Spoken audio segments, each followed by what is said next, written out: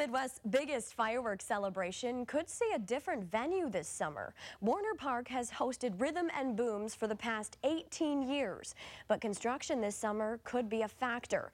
About 300,000 people usually attend the annual fireworks show every year. Steven Pope shows us what's on the minds of local officials who are discussing the possibility of moving the event. These fireworks have entertained thousands of people every summer at Warner Park. But that soon could change. What is prompting the discussion to uh, possibly move the celebration uh, away from Warner Park?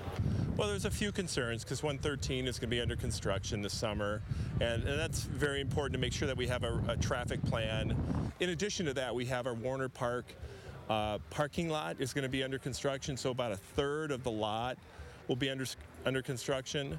So that, that's really what prompted the discussion there. If the Independence Day celebration were to move from Warner Park, it would affect tens of thousands of people who would sit where grass would be during the summer. But if it stays, it'll continue impacting wildlife.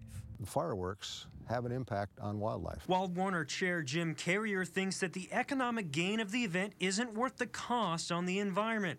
He's taking advantage of this year's construction to make a stand. When you see the fireworks go off, they fire into what is their nesting and living ground.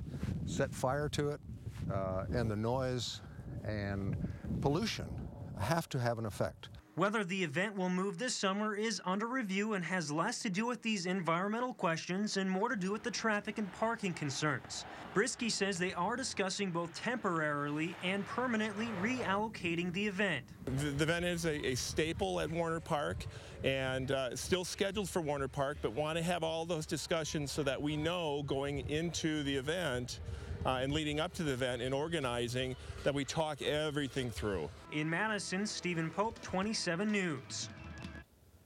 Brisky says they have also heard about the noise concerns that the neighbors have expressed about the fireworks, and they have passed those concerns on to the state health department.